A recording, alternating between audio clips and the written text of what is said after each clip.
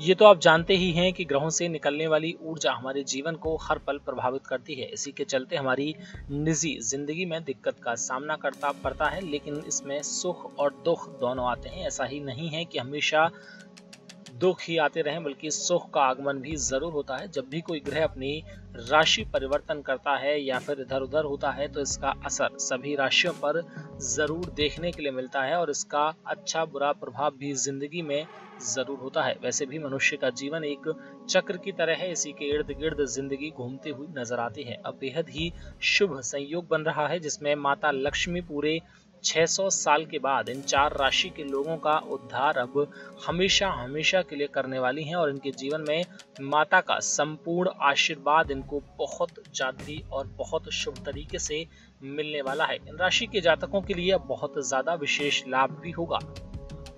कोई भी कमी इनकी ज़िंदगी में नहीं रहेगी। इनका फूलों की भांति जीवन खिलने लगेगा। इनके घर में खुशियाँ आएँगी। बहुत ज़्यादा लाभ होने के भी प्रबल योग दिखाई पड़ रहे हैं। वहीं जीवन में इनके कई बड़े बदलाव होने को हैं और ये अपनी ज़िंदगी में बहुत ज़्यादा शानदार तरीके से अपने आप को दिखाते हुए नज़र आने वाले हैं, जिसके बाद इनका कल्याण भी हमेशा हमेशा के लिए हो जाएगा और ये अपनी ज़िंदगी में बहुत ज़्यादा तरक्की करते हुए नज़र आएँगे।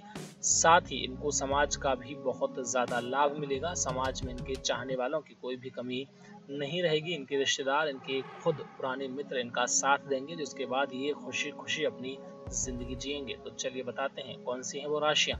राशि है सिंह तुला, कर्क और मीन राशि। नेक्स्ट नाइन स्पिरिचुअल से आकाश की रिपोर्ट